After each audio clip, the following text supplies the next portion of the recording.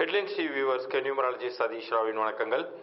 இந்த பதிவில் நம்ம ஏப்ரல் ரெண்டாயிரத்தி இருபத்தி ஒன்றிற்கான பலன்கள் பற்றி பார்க்க போகிறோம் இதில் குறிப்பாக நான் ஒவ்வொரு எண்களை பற்றி பேசும் பொழுதும் சூரியனுக்குரிய ஒன்று பத்து பத்தொன்பது இருபத்தெட்டுன்னு பற்றி சொன்னேன்னா அது கூடவே சேர்த்து அதற்குரிய ராசி கட்டங்களில் அவங்க எந்த அம்சத்தில் வருவாங்க. இப்போ சூரியன்னாலே வந்து அதற்குரிய ராசியாக சிம்ம ராசி வரும். அதற்குரிய அம்சத்தையும் சேர்த்து சொல்வதாக இருக்க. இது மாதிரி ஒவ்வொரு எண்ணிற்குமே பிரத்யேகமாக எண்கணித ரீதியாகவும் உங்களுடைய ராசியின் அடிப்படையிலையுமே நீங்க இதை வந்து கம்பைன் பண்ணி பார்த்துக்கக்கூடிய வகையில இந்த பலன்கள் நான் சொல்வதாக இருக்க. அதனால கவனமா கேட்டுட்டு வாங்க. சந்திரனுக்குரிய இரண்டாம் எண் பதினொன்றாம் தேதி இருபதாம் தேதி இருபத்தி ஒன்பதாம் தேதி இந்த தேதிகளில் பிறந்தவர்களுக்கும் அதே போல கடக ராசியினருக்கும் இந்த ஏப்ரல் மாதம் ரெண்டாயிரத்தி இருபத்தி ஒன்று எப்படி இருக்க போகுதுங்கிறத பார்க்க போகிறோம் இங்கே எண்கணித ரீதியாக நம்ம வந்து இரண்டு பதினொன்று இருபது இருபத்தி ஒன்பதெல்லாம் என்ன தன்மையில் சொல்கிறோமோ அது எல்லாமே கடகராசிக்கும் பொருந்தும். சந்திரனுடைய ஆதிக்கம் கொண்டது தான் இந்த இரண்டாம் எண். அதனால தான் அந்த ராசியை சேர்ந்தவர்களும் இந்த பலன்களை பார்த்து பலன் பெறுங்க அப்படின்னு நான் சொல்கிறேன் இங்கே உங்களுக்கு இந்த இ- இரண்டாம் தேதிங்கிறது ஏப்ரல் மாதத்தை பொறுத்தவரை ஓரளவு சுமாரான பலன்களை கொடுக்கும். கண்டிப்பாக வந்து உங்களை வந்து டோட்டலாக வந்து கவுத்துறாது. ஒரு மாற்றமும் உங்களுக்கு வந்து இரக்கமும் உங்களுக்கு மாறி மாறி வந்துகிட்டு இருக்கும். மாற்றம்ங்கிறது சில நேரங்களில் உங்களுக்கு வந்து உகந்த மாற்றமாக இருக்கலாம். இறங்கு முகமாகவும் ஒரு சில நேரங்களில் இருக்கலாம். 50 50 அப்படின்னு சொல்லலாம் இந்த மாதத்தை பொறுத்தவரை. அதற்காக செய்யக்கூடிய முயற்சிகளை நீங்கள் நிறுத்த வேண்டாம். எந்தெந்த விஷயங்கள்லாம் திட்டமிட்டு நீங்கள் செய்துக்கிட்டு இருந்தீங்களோ அதை தொடர்ந்து கன்டினியூ பண்ணிக்கிட்டே வாங்க. குறிப்பாக ஜாப் சேஞ்ச் பண்ணணும்னு நினைக்கிறவங்க இந்த மாதத்தை பொறுத்தவரை அந்த முடிவை எடுக்க வேண்டாம். தள்ளி வச்சிருங்க. ஏன்னா இருந்த கம்பெனியும் விட்டு இது புதுசாக போகிற கம்பெனிலையும் வந்து சரிவர செட் ஆகாமல் மாட்டிக்கிறதுக்கான வாய்ப்பு இருக்குது அதனால் இந்த மாதத்தை பொறுத்தவரை கொஞ்சம் நிதானித்தே முடிவெடுங்கள். மகளிரை பொறுத்தவரை உங்களுடைய முதலீடுகளை முடிந்தவரை நீங்கள் இந்த மாச இந்த மாதத்தை பொறுத்த வரைக்கும் ஏதாச்சும் போய் ஒரு சீட்டில் கட்டுறேன் அல்லது வேற எதுலாச்சும் சிறு சேமிப்பு சேர்றேன்னு சொல்லிட்டு எதுவும் போய் ஏமாந்துடாதீங்க இந்த மாதம் வந்து கொஞ்சம் ஏற்றமும் இறக்கமும் இருக்கக்கூடிய மாதமாக இருக்கு. அதிகபட்சமாக நீங்கள் தங்கத்தில் முதலீடு பண்ணலாம். மற்றபடி உங்களுடைய சேமிப்புகளை காப்பாற்றிக் கொள்ள வேண்டிய ஒரு மாதமாக இது இருக்கும். அரசியல் துறை பொது வாழ்வில் இருப்பவர்கள் இந்த மாதத்தில் உங்களுடைய வாக்குகளை ரொம்ப ஜாக்கிரதையாக பார்த்து கொடுக்கணும். நீங்க வெளியில நீங்க சொல்லக்கூடிய விஷயங்கள் உங்கள் வாயிலிருந்து வரக்கூடிய வாக்குகள் சில நேரங்களில் உங்களுக்கு பாதகமாக முடிந்து விடக்கூடிய ஒரு தன்மைகள்ங்கிறது இருக்கும். அதனால் முடிந்தவரை கொஞ்சம் ஜாக்கிரதையாக பேசுவது அப்படிங்கிறது நல்லது. ஆனால் நீங்கள் அப்படி நடந்துக்கும் போது உங்களுக்கான ஒரு நல்ல விஷயங்களும் நடக்கும். இந்த ஒரு ஜாக்கிரதையாக இருக்கும் பொழுதே உங்களுக்கான நல்ல ஒரு அங்கீகாரமான விஷயங்களும் அதுவும் கொண்டு வந்து கொடுத்துக்கிட்டு இருக்கும். ஏன்னா இது கொஞ்சம் இந்த இந்த காலகட்டத்தில் உங்களுக்கு வந்து எல்லாமே கலந்து நடக்குங்கிறதுனால இது மாதிரி நான் சொல்லிட்டு இருக்கேன். மாணவர்களை பொறுத்த வரைக்கும் எந்த குழப்பமும் இல்லை. அவர்கள் இருக்கக்கூடிய தற்போதைய நிலையில் அவர்களுடைய எதிர்கால ஒரு படிப்பிற்கான விஷயங்களை மட்டும் அவசியம் உணர்ந்து படிப்பில் கவனம் செலுத்தினாலே போதுமானது. மற்றபடி அவங்களுக்குன்னு பிரத்யேகமாக எந்த சிரமங்களும் கிடையாது. குறிப்பாக தொழில்துறையினர் நீங்கள் வந்து பிஸ்னஸ் செய்கிறவங்களாக இருக்கலாம். இந்த காலகட்டத்தில் எதுவும் போய் புது பிஸ்னஸில் இன்வெஸ்ட் பண்ணுறேன் அல்லது ஒரு பிரான்ச் புதுசாக ஒரு பிரான்ச் ஆரம்பிக்கிறேன். அல்லது நான் வந்து கடன் வாங்கி ஒரு இன்னொரு ஒரு இடத்துக்கு என்னுடைய ஆஃபீஸை பெரிய இடத்துக்கு மாற்றுறேன் ஆஃபீஸ்க்கு மாத்துறேன்லாம் எதுவும் செய்திடாதீங்க. அகலக்கால் வைத்து மாட்டிக்கொள்ளக்கூடிய ஒரு சூழ்நிலைகள் இப்போது உருவாகி விடலாம்.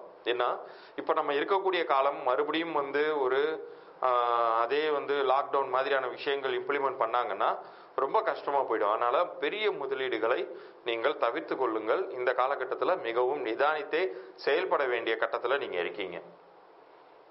குறிப்பாக இந்த மாதத்தில் எந்தெந்த தேதிகள் உங்களுக்கு அனுகூலமாக இருக்க போகுது அப்படிங்கிறத சொல்கிறேன் அந்த தேதிகளில் உங்களுக்கான முயற்சிகளை வைத்து கொள்ளும் பொழுது நீங்கள் ஓரளவு காப்பாற்றப்படுவீர்கள். ஒரு நல்ல விஷயங்கள்ங்கிறது நடக்கும்.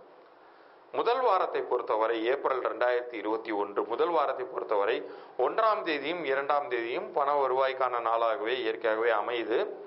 அதே போல உங்களுடைய ஏதாச்சும் ஒரு முக்கியமான தேவை செய்துகிட்டு இருந்தது பாதியிலே நின்றுச்சுன்னா அது எப்படியாச்சும் செய்து பூர்த்தி பண்ணக்கூடிய ஒரு நாட்களாக அதை வச்சுக்கோங்க. அதே போல் இரண்டாவது வாரத்தை பொறுத்தவரை உங்களுடைய தெய்வ வழிபாட்டிற்கான நாட்களாக அதை நீங்கள் வச்சுக்கணும். ஏழாம் தேதி பத்தாம் தேதி. இந்த இரண்டு தேதிகளில் உங்களுக்கான முக்கியமான முடிவுகளை நீங்கள் பிரார்த்தனைகள் மூலமாக எடுக்கணும். நீங்கள் வந்து தெய்வ வழிபாட்டின் மூலமாக உங்களை மிகச்சரியாக வழிநடத்தப்படுவீர்கள் உங்களுடைய முடிவுகள் வீண் போகாது. உங்களை காப்பாற்றக்கூடிய வகையில் இருக்கும். மூன்றாவது வாரத்தை பொறுத்தவரை பதினொன்றாம் தேதியும் பதினான்காம் தேதியும் உங்களுக்கு ரொம்ப அனுகூலமாக இருக்கும்.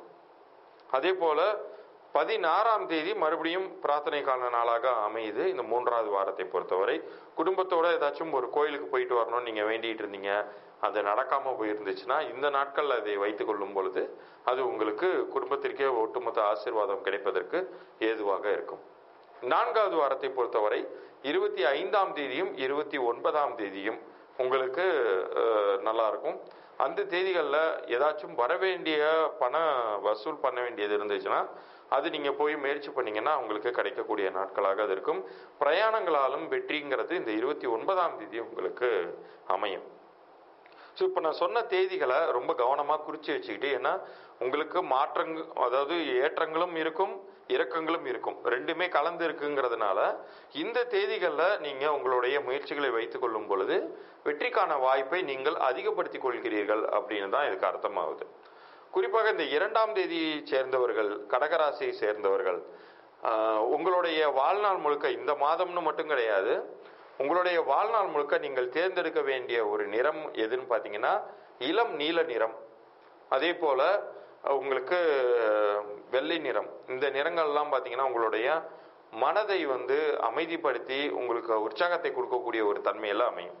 இவ்வளோ நேரம் நான் சொல்லிட்டு இருந்தது எல்லாமே வந்து உங்களுடைய தேதிக்கு மட்டும்தான் நான் சொல்லிட்டு இருக்கேன். தேதியின் கூட்டுத்தொகைன்னு ஒன்று இருக்குது அதே போல் உங்களுடைய பெயர் என்னங்கிறது அது ஒரு செப்பரேட் நம்பர் இருக்குது இது ரெண்டுத்தையும் பார்த்து நம்ம வந்து குறிப்பு சொல்லும்போது தான் உங்களுக்கு மிக நெருக்கமான பலன்கள் மிக அனுகூலமான பலன்கள்ங்கிறது கிடைக்கும். அது உங்களுக்கு வேணும்னா நான் வந்து இலவசமாக கொடுக்குறதா இருக்கேன் அந்த குறிப்பையும். ஆனால் அதற்கு நீங்கள் செய்ய வேண்டியது ஹெட்லைன்ஸ் டிவியை சப்ஸ்கிரைப் பண்ணி அந்த ஸ்க்ரீன்ஷாட்டை கீழே தெரிகிற என்னுடைய வாட்ஸ்அப் எண்ணிற்கு அனுப்பிச்சி வைக்கணும். அப்படி அனுப்பி வைக்கும் பொழுது உங்களுக்கான பிரத்யேக குறிப்புகளை உங்களுக்கு என்னால் கொடுக்க முடியும். ஆனால் கமெண்ட்டில் போட்டுறாதீங்க வாட்ஸ்அப்பில் மட்டும் அனுப்புங்க. இப்போ நான் தேதிகளை பற்றி சொல்ல போகிறேன் இரண்டு பதினொன்று இருபது இருபத்தி ஒன்பது இந்த தேதிகளில் பிறந்த உங்களுக்கு இப்போ நிறங்கள் பார்த்தோம் இல்லையா அது போல் உங்களுக்கு ஒரு சில தேதிகளில் நல்லதுங்கிறது இயற்கையாகவே நடக்கும். ஆர்கானிக் சக்சஸ் அப்படின்னு சொல்லுவோம். உங்களுடைய எஃபர்ட்ஸ் கம்மியாகவும் ஆனால் செய்யக்கூடிய முயற்சிகளுக்கு சிறிதளவு இருந்தால் கூட நல்ல ஒரு ரிசல்ட்டை கொடுக்கக்கூடிய நாட்களாகவும் இருக்கக்கூடியது. ஏழு பதினாறு இருபத்தி ஐந்து.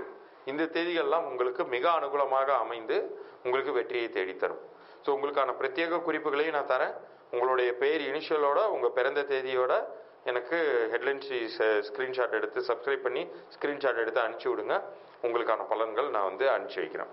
உங்களுக்கு பொதுவாகவே சொல்கிறேன் இரண்டு பதினொன்று இருபது இருபத்தி ஒன்பது தேதிகளில் பிறந்தவர்களுக்கு இந்த பௌர்ணமி தினங்கள் வருது இல்லையா? அந்த நாட்கள்லாம் பார்த்தீங்கன்னா மைண்டு வந்து ரொம்ப கிளாரிட்டியாக இருக்கும் உங்களுக்கு.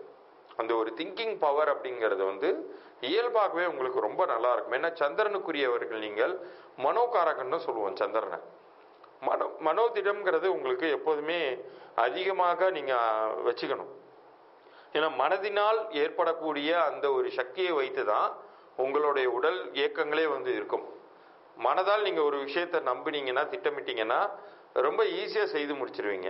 ஸோ அந்த மனோசக்தியை பெருக்குவதற்கான வாய்ப்புகளை எப்போதுமே நீங்கள் வந்து தெரிந்து கொள்ள வை- வச்சுக்கணும் அப்படிங்கிறத இங்கே உங்களுக்கு ஒரு எக்ஸ்ட்ரா இன்ஃபர்மேஷனாக நான் சொல்லிக்க விரும்புகிறேன் நன்றி.